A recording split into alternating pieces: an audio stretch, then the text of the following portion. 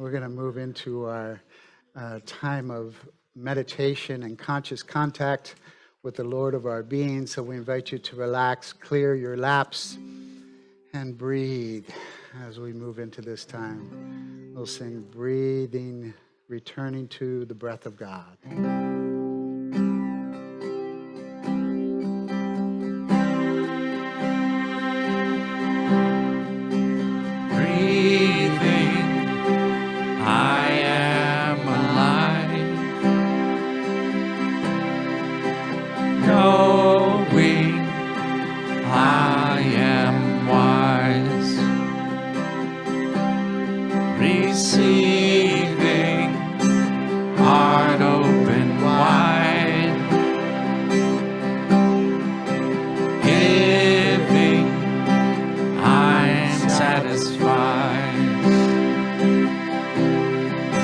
turn.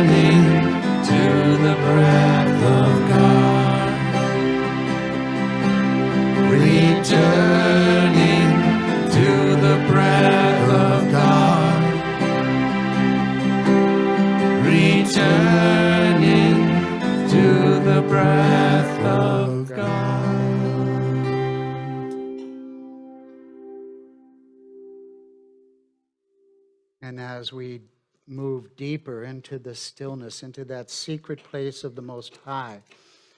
I invite you to breathe deeply, softening your belly, breathing in the pure essence of God and breathing out, letting go and letting God be God in you in this place, in this time, in this space. As we continue to breathe in, we breathe in the power the love, the light, the consciousness of God. And breathing out, letting go, even deeper and deeper, letting go, letting God be God in you at this time.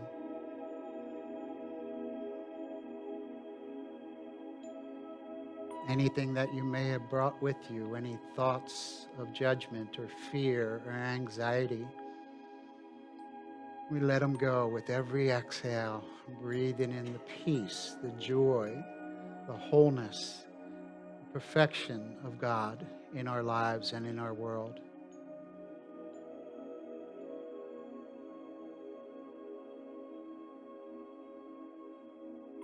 Allowing the body to relax even deeper so the mind can follow.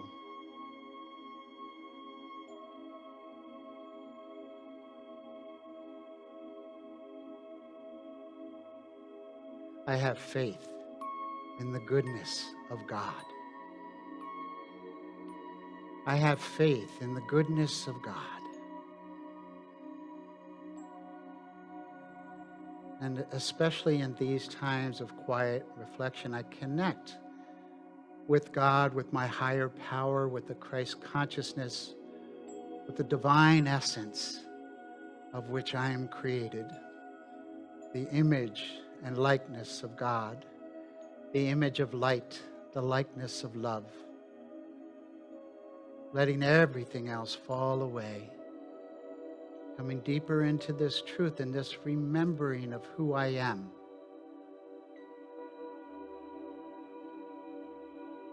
And so I come to believe in this power that guides my life, knowing that this power is greater than any challenge that I face, knowing that this power is the solution to any of my problems, knowing that this power is the grace in which I live and move and have my being.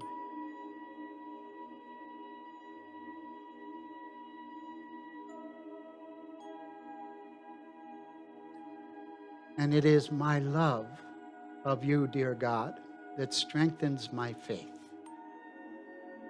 To know that all things are working for my highest and best. Knowing that there is a divine outcome for everything, knowing that everything is working for our good.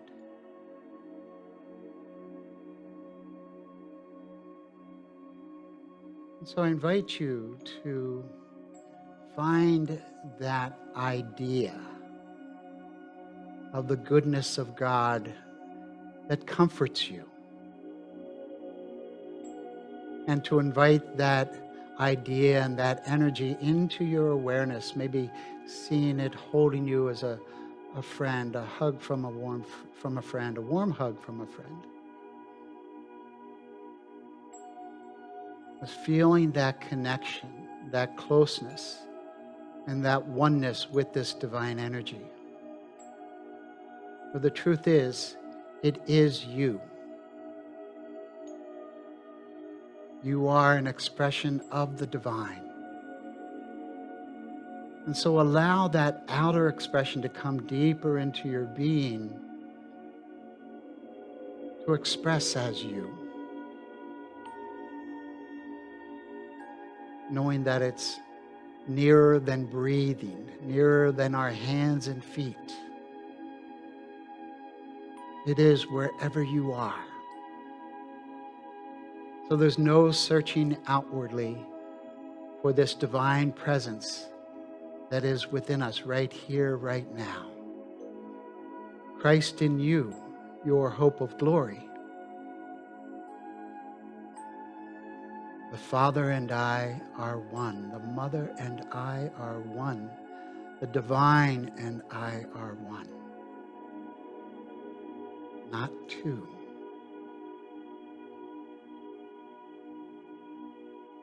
So, knowing this, knowing this truth, my faith is beyond belief. My faith is knowing that God the good is working in my life now and always to bring about success, and love, and joy, and an abundance of all good things.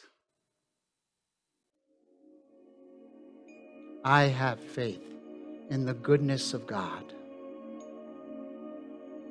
I have faith in the goodness of God. Let us know this truth as we move deeper into the stillness into the sacred place of the Most High in the silence.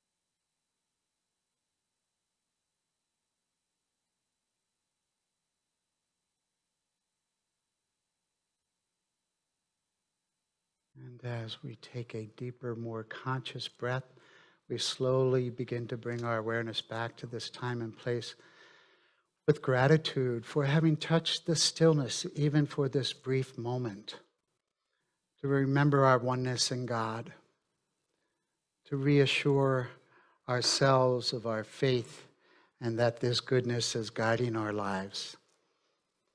Thank you, God. Thank you, God. Thank you, God. As we sing again, returning to the breath of God. Breathing,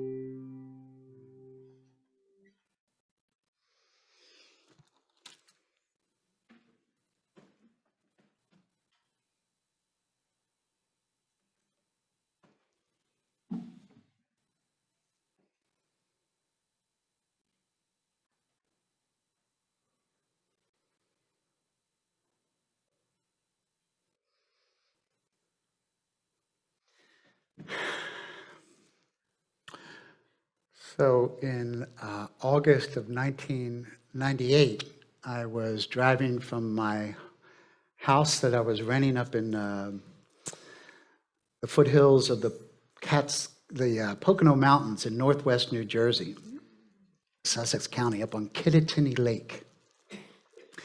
And uh, driving to my first Sunday as a new minister at Unity of Sussex County. And uh, it was about a 15 minute drive through the windy roads of that area.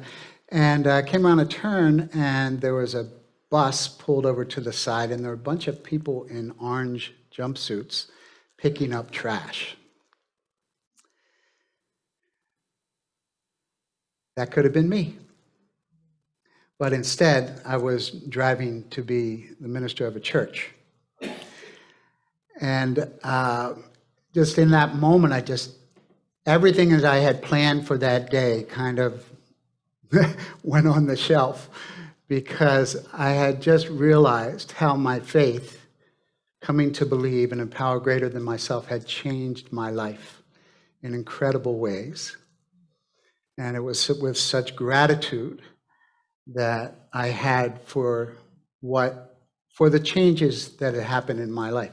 Not only for the changes in my life, but also for the challenges that I had been through, that I had overcome as a result of um, spirituality, spiritual practice, and spiritual principles. The first ones I learned through the 12 step program. And so today I want to share with you the uh, second principle of the 12 principles for spiritual living, which is faith, which is the principle of activating our faith in our lives. So, uh, you, you know, why, why do that? Why have faith? You know, I know why I have faith because left to my own devices, most of the times I can't figure things out. Most of the time I get myself in trouble if I'm not connected to that higher power. So when I do that, when I take the time to connect with that divine, with that wisdom, that my life usually turns out better than if I had done it without that. So Charles Fillmore, the co-founder of the Unity Movement, said that faith is the perceiving power of the mind linked with the ability to shape substance. The perceiving power of the mind linked with the power to shape substance. So, what is the substance that we're shaping? We kind of work backwards with this. The substance is the allness of God. Everything in the manifest, manifest realm came from consciousness. So, the substance, the consciousness of God, is what it is that we are that we've manifested to this moment. Everything that we've experienced, the clothes we wear, the chair we're sitting on, the thoughts that we think, all come from the consciousness of God. And the more energy, the more we perceive what it is that we want, the more we form that in our lives and it shows up in our lives. Hebrews 11 says that faith is, Rabbi, uh, Reverend Bob, you want to help me with that one? That's what you had trouble with? Uh, I didn't want to even look at, you like Charles' definition better. It's very similar. Faith is a perceiving power of the mind linked with the ability.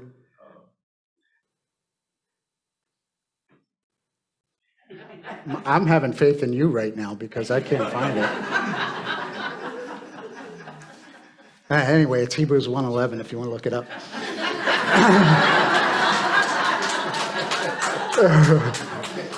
I, you know, Einstein said, "Why remember anything?" He didn't remember phone numbers because you could look them up. You know, why, waste your brain? But it is part of my lesson, so I should have it. But it's escaped me.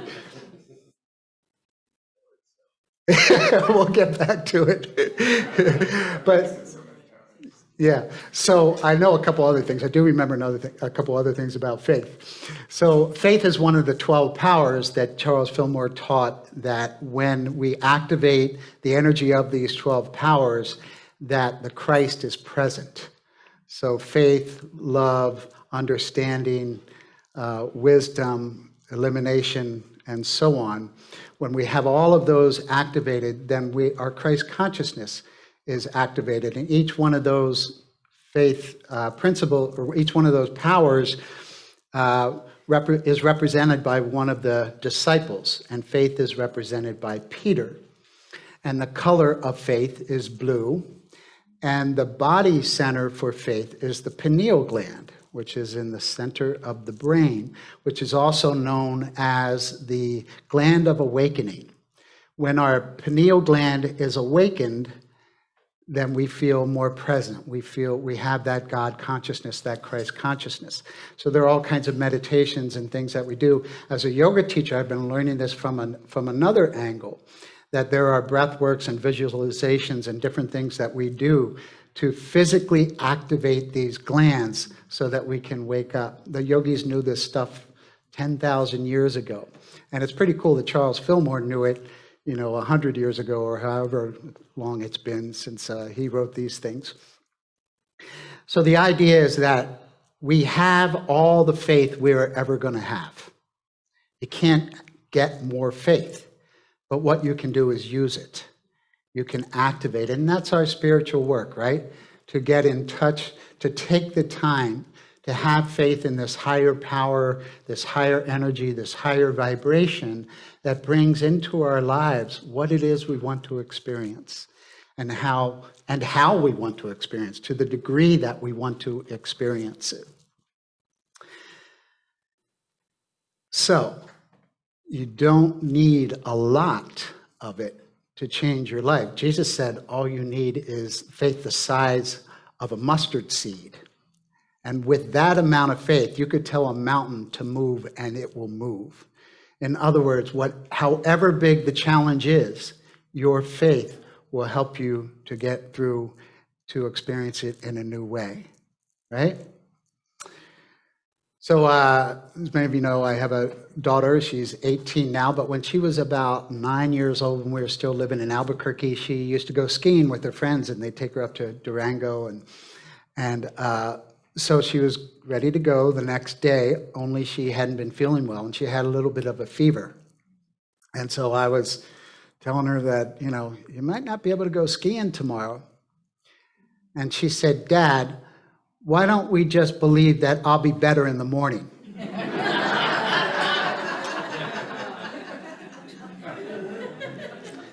Unity minister's kid. And sure enough, in the morning, her fever was gone, and she got to go skiing, and I got a lesson. Wonderful to get lessons from our kids. That's what they're here for.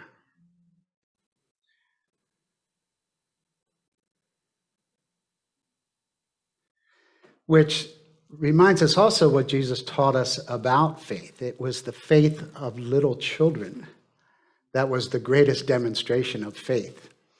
And uh, Jesus said, Verily I say unto you, except ye be converted and, and become as little children, ye shall not enter the kingdom of heaven.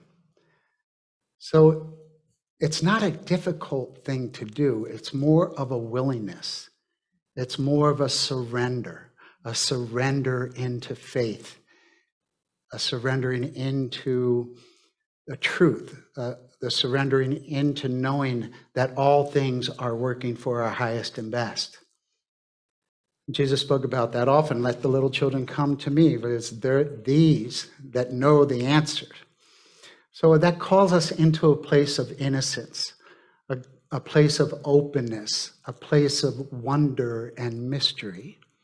That's why this lesson's called um, Believe in the Mystery.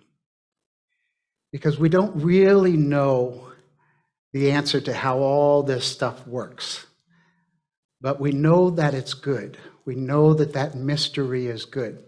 There's a teaching that says that we only have about 20% control of our lives. We have control over about 20% of our lives. Maybe, you know, what we put on in the morning, what we eat for breakfast. But we don't know what's going to happen when we go outside the door and who we're going to run into, the interactions that we're going to have, and the lessons that we're going to learn. So the 80% of our lives is a mystery. 80% of our lives is a mystery. So the most important thing to know about that is that the mystery is good. The energy of the mystery is good. So the more that we believe in that mystery, the more goodness we have in our lives. And, and maybe that 20% starts to grow into 30% because we're trusting that mystery. And then we might feel like we have a little bit more mastery over our lives. I don't like to use the word control because I really am not in control of anything.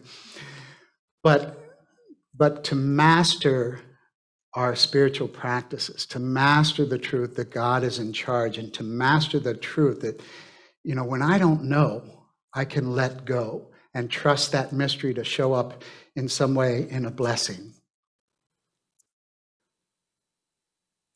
So there are many levels of faith.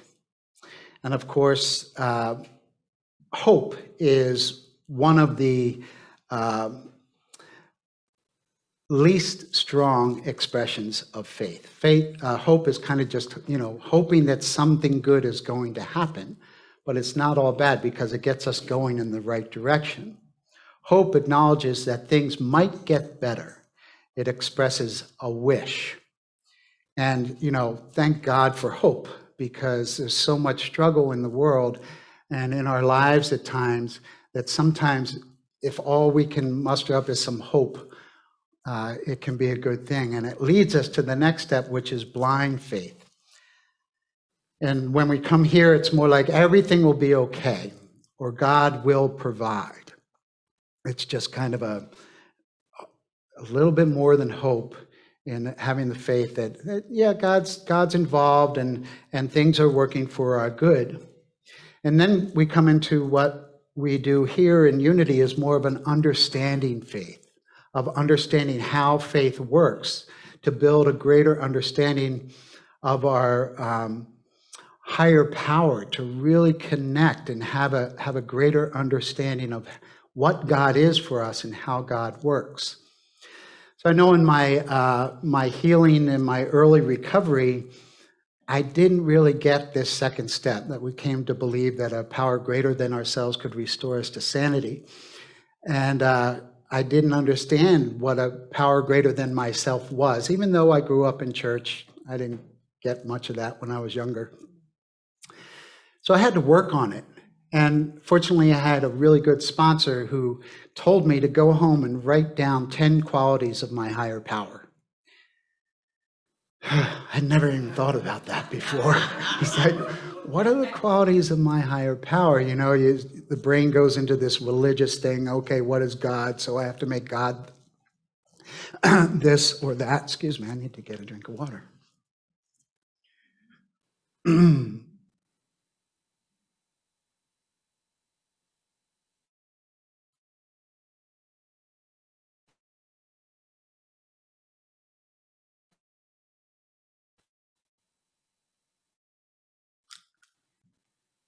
that.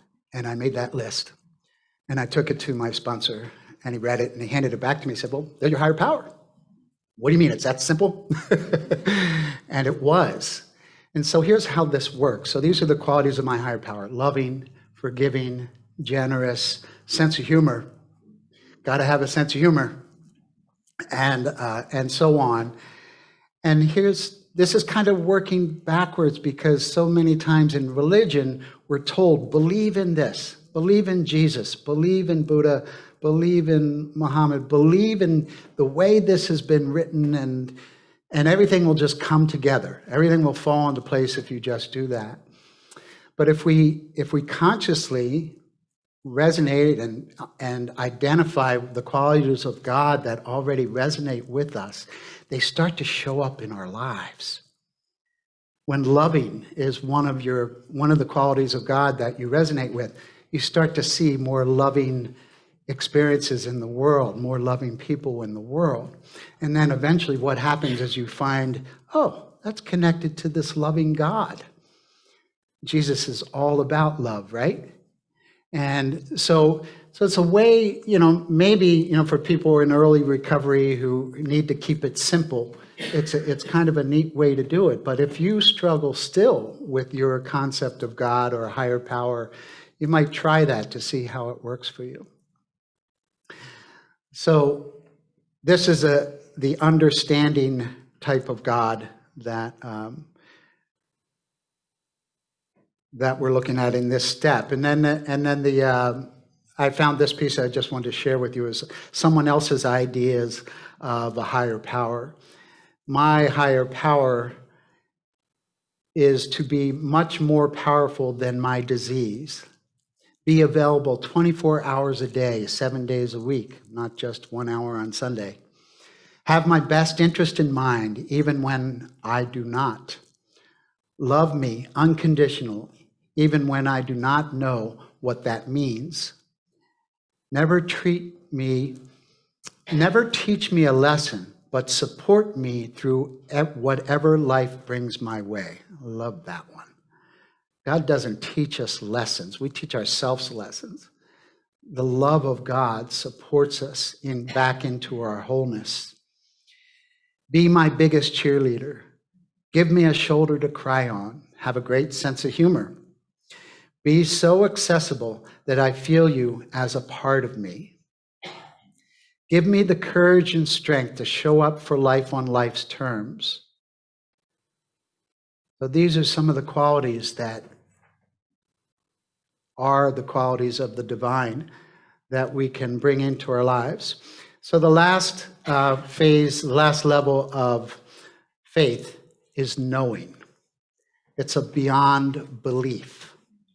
It's not hoping that something's going to show up in our lives that we want. It's knowing that it's already here.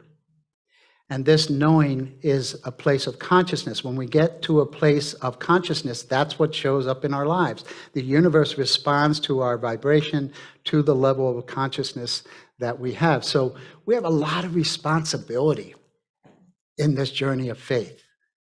It's because this is the most important. When we have that knowing that God is good, when we have that knowing that God is wanting to give us the kingdom, wanting to bless us, it shows up in our lives. So it's beyond belief, it's beyond faith in a sense, that we just know that the presence of God is here now. So let's take a moment to have a little experience of this uh, faith power in our minds and our bodies and our hearts this morning, because also these are a couple of the qualities to developing um, more faith is that we have to move through our opinionated minds, our judgmental, closed minds. We have to open them up. We have to move through our, our closed down hearts. We have to open our hearts to receive this love and this faith or to activate it. So, as we do this, I invite you again to breathe, soften your belly, breathe in the breath of God. Hmm. And as you do, I invite you to bring your awareness to the center of your brain. From the very top of your head down a little bit into your brain. And imagine the pineal gland there. It's called the pineal gland because it's shaped like a pineapple. It's a little gland in the center of your brain. I want you to imagine a globe of white golden light above you and see that light filtering down into the pineal gland and exiting out through the third eye. So it's kind of an L shape. You're breathing in this light and love of God, seeing it through the pineal gland, and then exhaling out and imagine that energy coming out the third eye. So inhale. I believe in the I have faith in the goodness of God. Exhale, I have faith in the goodness of God. Inhale, I have faith in the goodness of God. Exhale, I have faith in the goodness of God. And just sit with that with the, for a few moments and practice that on your own.